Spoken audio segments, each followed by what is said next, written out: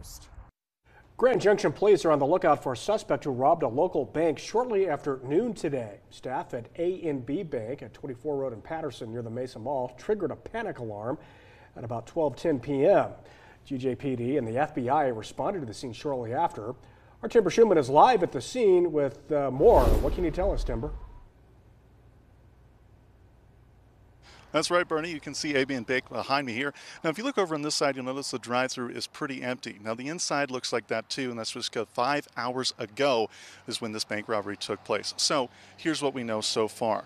It was about noon, 12 o'clock, when an adult male suspect came into the building in person, handed the cashier a note saying he demanded money and that he also had a weapon on him. Now, it's important to note nobody ever saw a weapon and nobody was hurt. Thank you.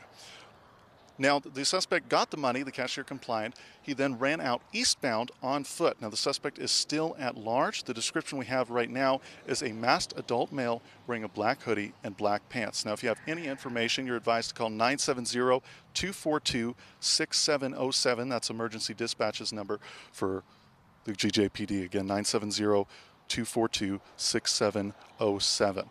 Now, right now, that's all that we have. I know there's a lot of questions still left to answer, but we'll keep you updated with more. So, right now, reporting from Grand Junction, Colorado, I'm Timber Schumann.